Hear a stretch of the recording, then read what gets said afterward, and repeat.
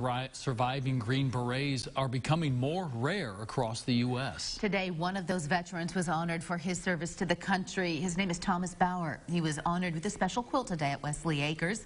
Bauer is one of the few Green Berets from Vietnam. His wife says they're thankful for the recognition. We're honored to have such great people that see that Tom is just not ordinary. His war is not over. With PTSD, lives with it day by day.